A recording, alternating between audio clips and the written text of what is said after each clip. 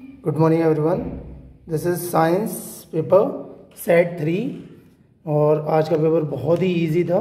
This is the first page so total question is thirty nine and there are five sections first twenty M C Q question next six आपके very short question next five आपके आपके यहाँ पर three marks question three case study and three long answers and really this is very question which one of the following reaction is different from the remaining three इसमें आपको यहाँ पर बताना था कौन सी, किस टाइप की रिएक्शन होती है। ये टाइप ऑफ़ रिएक्शन से क्वेश्चन था। नेक्स्ट आपको प्रोडक्ट बताना था और इसमें प्रोडक्ट था आपका quicklime calcium oxide next pair of natural indicators और नेचुरल इंडिकेटर में आपने पढ़ा ही है। नेक्स्ट यहाँ पर एक आपका डिकम्पोजिशन रिएक्शन से था। लीड नाइट्रेट को हीट करने पर क्या मिलता है? N O two P B O plus O two इसके बाद साइक्लोहेक्सेन का स्ट्रक्चर दे रखा था। एक हाइड्रोकार्बन का पार्ट आपको दे रखा है इसमें। नेक्स्ट ये बायोलॉजी वाला पार्ट है आपका एम सी मैंने इसके मार्क्स आंसर मार्क कर रखे हैं। मे बी इसके आंसर्स बहुत ही इजी पेपर पोर्शन था आपका फिजिक्स केमिस्ट्री और बायो से। और जो क्वेश्चंस थे वो ऑलमोस्ट आपके प्रीवियस ईयर से मिलते जुलते ही थे, थोड़ा बहुत तो चेंज होता ही है। बट पेपर पैटर्न बहुत बहुत ही ईजी था।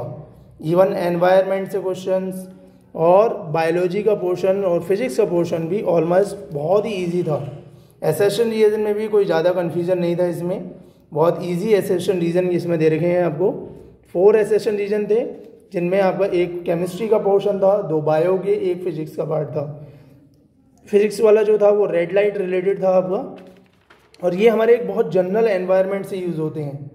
इसमें केमिस्ट्री के टू मार्क्स के क्वेश्चन में आपके बहुत ईजी क्वेश्चन है, दे रखे हैं आपके। बी पार्ट भी दे रखा है, ठीक है? इसमें short answer three marks question जैसे कि इसमें एक रिएक्शन आपकी दे रखी है, वो आयरन थ्री ऑक्साइड और एल्यूमिनियम में थी।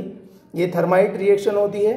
थर्माइट रिएक्शन जो यूज़ होता है, वो बेल्डिंग के लिए दिया जो होता है, ठीक है?